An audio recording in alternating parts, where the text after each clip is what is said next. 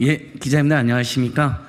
이 문제를 처음으로 우리 이정수 보좌관님과 어, 최재관 위원장님과 강득구 님과 함께 어, 제보받고 또 논의를 진행한 민생경제연구소 안진걸입니다. 좀 이따가 더 자세한 설명은 어, 백브리핑 브리핑 장소로 이동해서 오늘 양평 토백인 이정수 보좌관님뿐만 아니라 양평 시민단체 대표님도 한번 오셨습니다. 기자님들 궁금한 거 있으면 양평군 사정을 소상히 말씀드리려고 오셨거든요. 그래서 브리핑도 어, 관심 가져주시면 고맙겠습니다. 이 기자님들께서 기억하시는 대선 전에 어, 최은순 김건희 일가에 문제가 됐던 땅 네곳이역입니다. 그 어, 탄핵에 달할 정도로 심각한 비리가 있었던 양평읍 공흥리 개발지역인데요. 결국 여기는 김성교, 윤석열, 최은순, 김건희가 다 연루되어 있고 여기 개발을 주도했는데 개발 부담이 영원이 되는 정말 사기가 있었는데 결국 다 무혐의 되고 수사 책임자를 취임식에 부르는 대담한 범죄를 저질렀죠.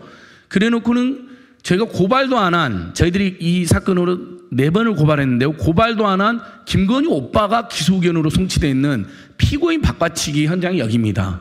저희는 이것마저도 중대한 탄핵사가 된다고 계속 주장을 해왔습니다. 그리고 이 백안리는 이른바 최은순 일가의 어, 농지법 위반, 그 다음에 투기 의혹이 있는 곳입니다. 그 다음에 문제가 되는 것이 강산면 병산리고요.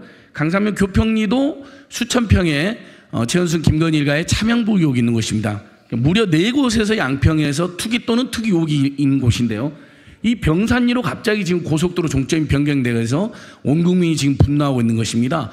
그 국민의 의원들 난리 피우잖아요. 민주당이나 야당이나 시민단체 뭘 주장하면 지금 단 한 명도 나서서 해명을 못하고 있습니다. 본인들이 보기에도 너무 황당한 일이 지금 발생했기 때문에 저희는 추정을 해봅니다.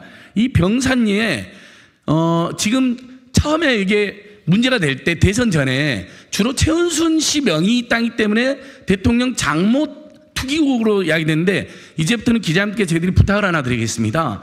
이 병산리는 대통령 재산 신고를 보시면 김건희 여사 명의의 땅이 수천 평 12필지나 있습니다. 최은순 식당까지 합치면 한 7천 평에 달하는 엄청난 땅이 있는 곳이거든요. 그러니까 여러분 우리가 부부가 가는 사는 집을 남편 집 아내 집 안 그러죠. 부부집이라 그러죠. 그러니까 이 땅은 윤석열 대통령 부부 땅이라고 명명하는 게 맞습니다. 최은순 씨 땅이라고 쓰지 말아 주십시오.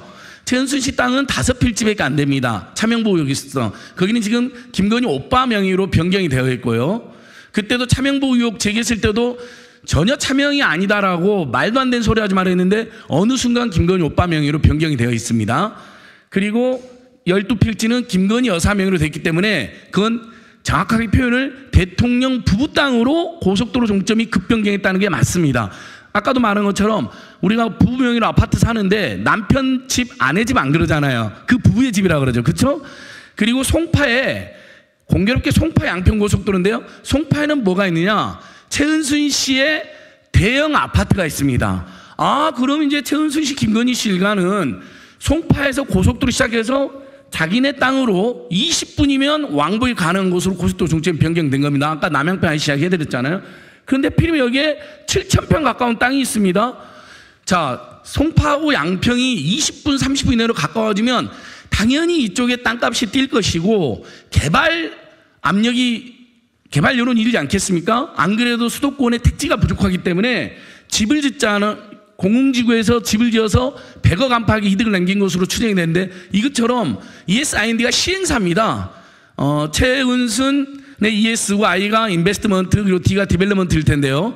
시행사를 가지고 있습니다. 자, 땅을 엄청나게 소유하고 있습니다. 땅값도 엄청 튀어서 그렇게 시착을 남길 수도 있고 만약에 아파트 개발용 가능하면 주택이 가능하면 주택을 지어서 엄청난 시착을 노릴 수가 있게 되는 것입니다. 그런 의심이나 지적을 충분히 가능한 상황이고 꼭 주택이 아니다 하더라도 이쪽이 교통이 요지가 되기 때문에 그쪽이 지금 휴게소가 없어서 휴게소용으로도 충분히 개발이 가능한 거 아니야라는 지역의 여론이 있습니다.